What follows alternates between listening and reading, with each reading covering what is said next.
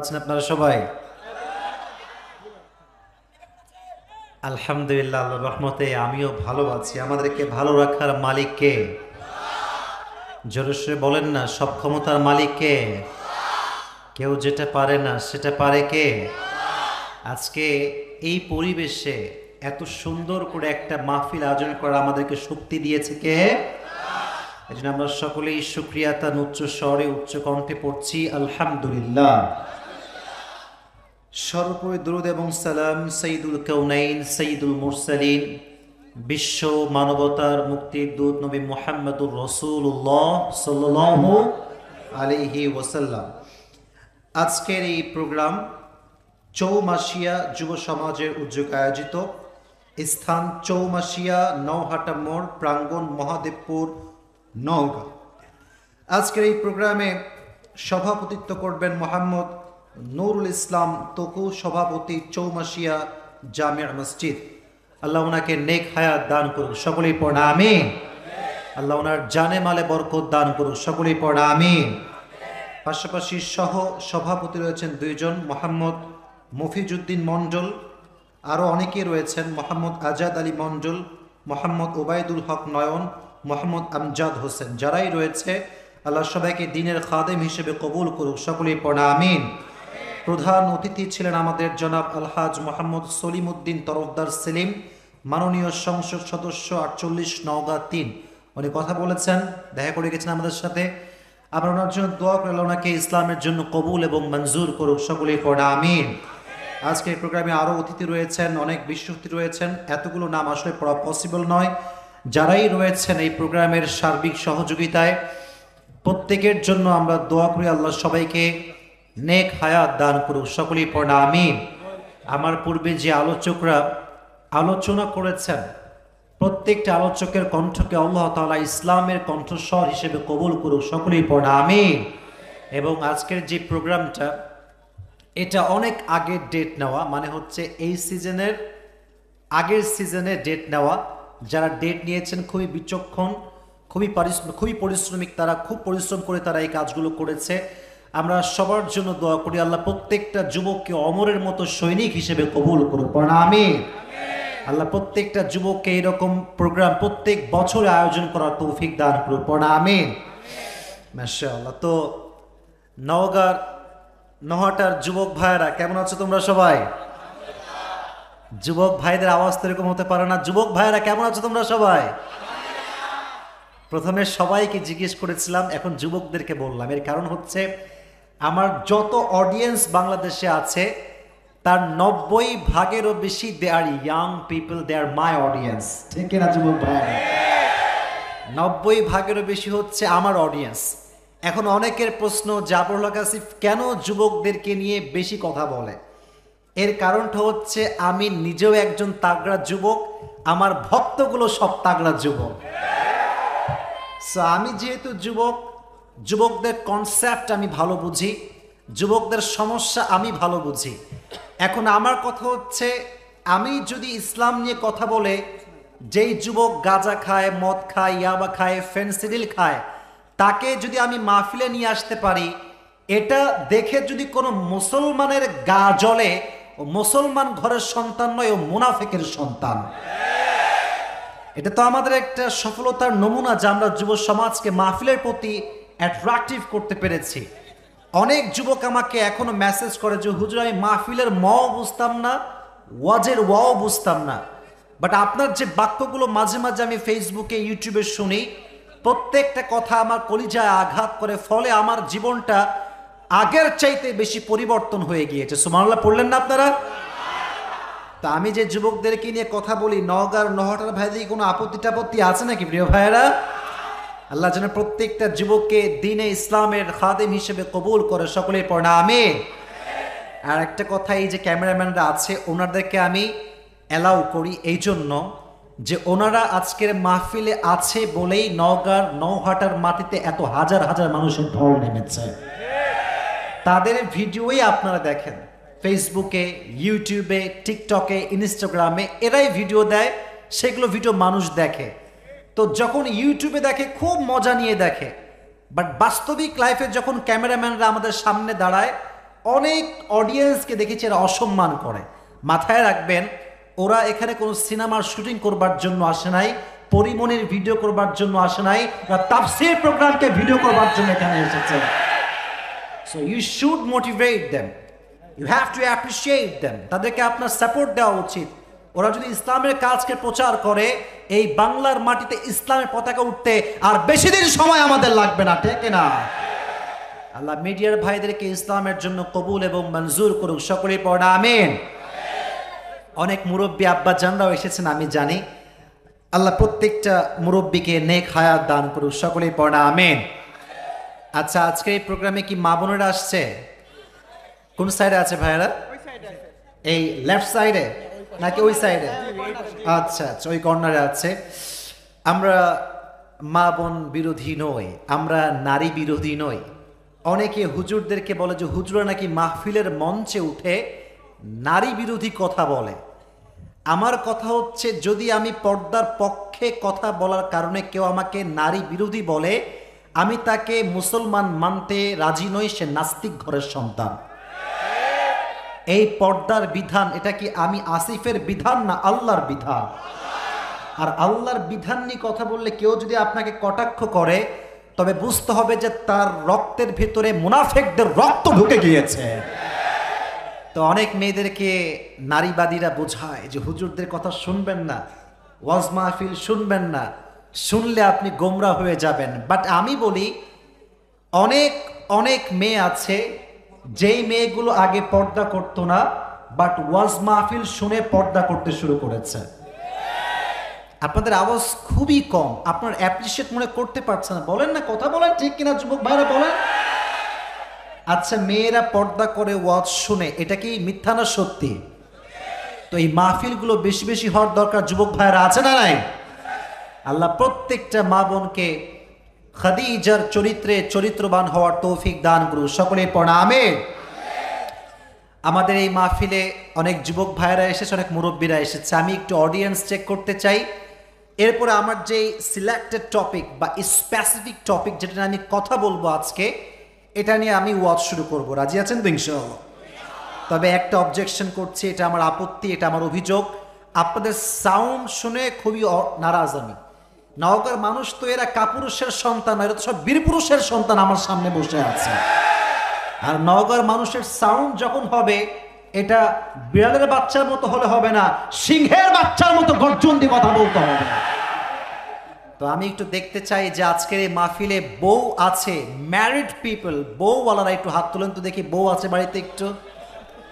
আচ্ছা অনেক লোকই বউওয়ালা আছে মানে বউ থাকলে হাত তুলবে, নয় হাত নামান আচ্ছা বউওয়ালারা হাত তুলেছে। এবার যাদের বউ টৌ কেউ নাই সিঙ্গেল পার্টিরা হাত তুলো সবাই। কি? আপনাদের কারও বউ নাই? তো আজকে আনম্যারিডদের সংখ্যা নগর মাহফিলে বেশি। ঠিক আছে কিনা যুবক ভাই, আর বলো। তো আমরা একটু আচ্ছা আরে বাবা, হাত নামাও রে বাবা, ওরে আল্লাহ, কি যে চালাক।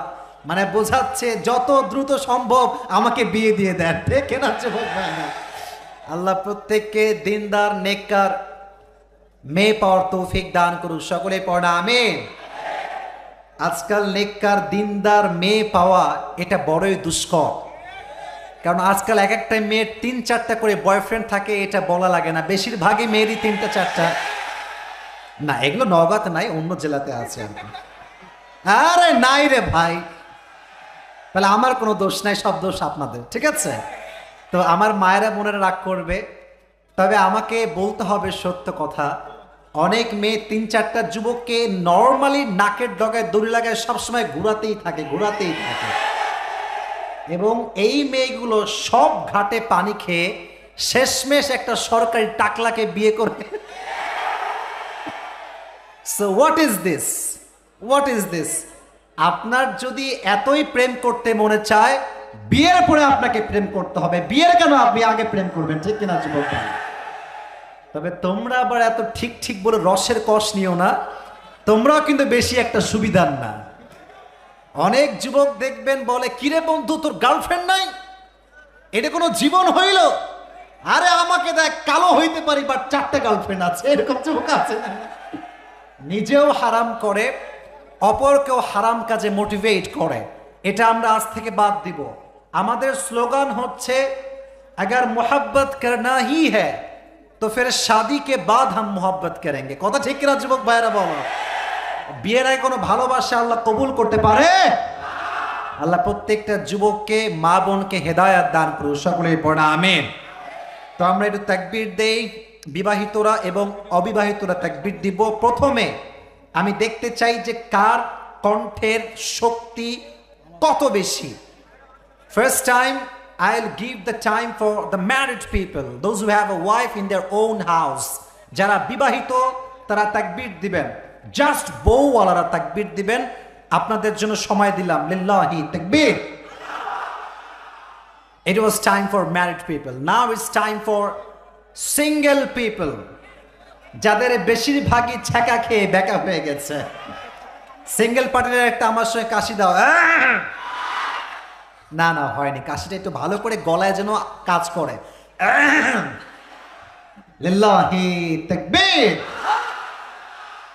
বিবাহিতরা নব্বই ভাগ নাম্বার কম পেয়ে ফেল করেছেন। আচ্ছা যাই হোক, এবার আমরা সবাই মিলে তাকবীর দিব। এবার সবাই মিলে একটা কাশি দেন। লিল্লাহি তাকবীর। আল কোরআনের আলো। আল হাদিসের আলো।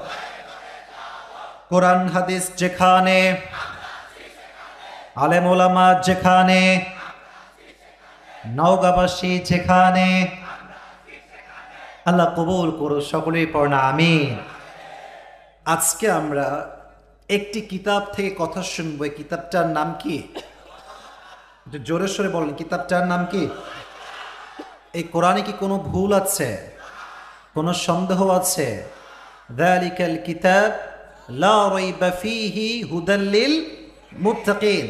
এটা হচ্ছে এমন একটা বই the most authentic and reliable book in the world war of there is no doubt in it guidance to those who are মুত্তাকিন এটা এমন একটা বই যেটা মুত্তাকিদের জন্য গাইড স্বরূপ, পথ প্রদর্শক স্বরূপ। এই কোরআনটা যে মানবে, যে শুনবে, তার জীবনটাকে আলোকিত করে দিবে, একজন আওয়াজ দিয়ে বলেন, তিনি কে? আচ্ছা নওগাঁর ভাইয়ারা বলেন তো তোমরা কিন্তু কেউ কেউ সাউন্ড করছ, আমি কিন্তু কিচ্ছু বলছি না। আমি শুরু থেকে নিয়েই আমি বিশ্বাস করি নওগাঁর মানুষ সব ভদ্র ঘরের সন্তানেরা। এরা অভদ্রতা পছন্দ করে না। প্লিজ সাইলেন্ট থাকবেন কাইন্ডলি একটু চুপচাপ থাকবেন। তো কোরআন যে পড়ে, তার জীবনটা কি অন্ধকার হয়ে যায় না আলোকিত হয়ে যায়? কিতাবুন আনজালনাহু ইলাইকা লিতুখরিজান নাসা মিনাল যুলুমাতি ইলান নূর। আল্লাহ বলছেন, নবী হে এই কোরআনটা আমি আল্লাহ এই জন্য আপনাকে দিয়েছি যাতে করে you can lead the mankind out of darkness into the light যাতে করে আপনি অন্ধকারচ্ছন্ন মানুষগুলোকে আলোর পথ দেখাতে পারেন, যাতে করে আপনি জাহান্নামী মানুষগুলোকে জান্নাতি মানুষ বানাতে পারেন। সুবহানাল্লাহ, পড়লেন না? এই হচ্ছে সেই কোরআন। এবার আমাকে বলেন যে পৃথিবীতে সবচাইতে লাকি নেশন সৌভাগ্যবান জাতি কারা? বলতে ভয় পাচ্ছেন মনে হয়। এদিকে আওয়াজ নাই। জোরে সোরে সবাই এক বাক্যে বলেন, কারা? হিন্দু, খ্রিস্টান, বৌদ্ধ, ইহুদি, কারা সৌভাগ্যবান? মুসলমান। The answer is we are the lucky people এটা হচ্ছে উত্তর। আচ্ছা আর একটা প্রশ্ন করি। সেম প্রশ্ন একটু ঘুরাই দিচ্ছি। এই পৃথিবীতে সবচাইতে দুর্ভাগা জাতি হোমলেস স্টেটলেস নিগৃহীত, নিষ্পেষিত ঘর হারা বাড়ি হারা ফিলিস্তিনে মার খায়, আমেরিকায় মার খায়, আফগানিস্তানে মার খায়, দেশের প্রত্যেকটা প্রান্তে প্রান্তে সেই জাতি মার খায়। ফিলিস্তিনিদেরকে মেরে গুড়িয়ে দেওয়া হচ্ছে। বোমা মেরে শেষ করে দেওয়া হচ্ছে এই দুর্ভাগা জাতি কারা? উত্তর যে সেম হয়ে গেল। বলেন কারা কারা কারা কারা কারা বলেন? এক উত্তরে আমরা জানলাম যে we are the lucky people আর এক উত্তরে আমরা একই কথাই জানলাম, উল্টা যে আমরা we are the bad luck people আমাদের ভাগ্য খারাপ। আমাদের ভাগ্য কেন ভালো? এর কারণ হচ্ছে আমাদের কাছে একটা কিতাব আছে, কিতাবটার নাম কি? শুনি নাই তো। ডানের ভাইরা বলেন কিতাবটার নাম কি? That's why we are good luck people আর আমরা ব্যাড লাক পিপল কেন? কারণ মুসলমান ঘরের সন্তান আজকে বাংলা পারে। অনেক মেয়েরা, ছেলেরা হিন্দি সিরিয়াল দেখে আজকাল হিন্দিও বলতে পারে। অনেক যুবকরা পটপট করে ইংরেজিও বলতে পারে। বাট দ্য সেম পার্সন যে বাংলা পারে, হিন্দি পারে ইংলিশ পারে ওই যুবকটা সুরা ফাতেহা সঠিকভাবে পড়তে পারে না। এই জন্য আমরা দুর্ভাগা। মুসলমান ঘরের সন্তান সুরা ফাতেহা পড়তে পারে না, এরকম সন্তান আছে না নাই? জানাজার নামাজ আপনারা সবাই নাম শুনেছেন না? আপনি জানেন মুসলমানদের আশি ভাগ মুসলমান জানাজার নামাজে কোন তাকবীরের পরে কি পড়তে হবে? আশি ভাগ মুসলমান জানে না। আপনারা আমাকে ঠিক বেঠিক ভালো করে, আমি কি মিথ্যাতে বলতেছি নাকি ভাই? তো জোরে বলেন, ঠিক কিনা বলেন যুবক ভাইয়ারা?